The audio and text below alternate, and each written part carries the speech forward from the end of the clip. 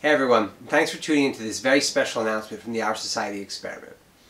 Our Society, in coordination with MoveOn.org, has volunteered to coordinate and host a rapid response rally in the circumstance that President Donald Trump decides to fire Special Counsel Robert Mueller or remove Deputy Attorney General Rod Rosenstein from his position. The rally is a rapid response rally, which means that both the time and the date are to be determined. Should either of the actions previously discussed occur, uh, it really depend on the time. So, for example, if uh, President Donald Trump decided to fire Robert Mueller uh, before 2 p.m. on a specific day, the rally would occur at 5 p.m. that day. If it happens after 2 p.m., the rally will occur at noon the following day. Our Society's rally will occur at the New Brunswick Municipal Clerk's Office, which is located at 78 Bayard Street in New Brunswick, New Jersey, 08901. We decided to organize this rally because we recognized that there were no rallies in central New Jersey. And this is a great opportunity for a peaceful and positive gathering to discuss ideas uh, and really show solidarity with our fellow Americans across the country that no one is above the law despite position or wealth.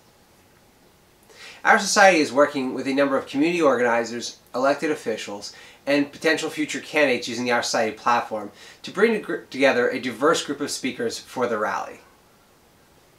I would like to note that this is a nonpartisan rally, so people from all ideals are welcome to join us. Uh, this is about the collective agreement that no person, regardless of wealth or status, is above the law.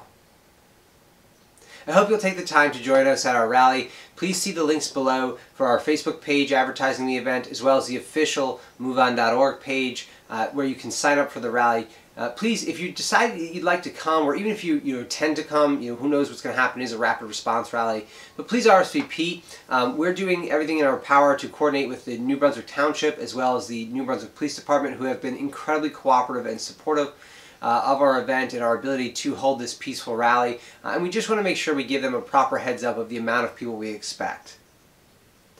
I'll be there personally along with a number of other Our Society volunteers.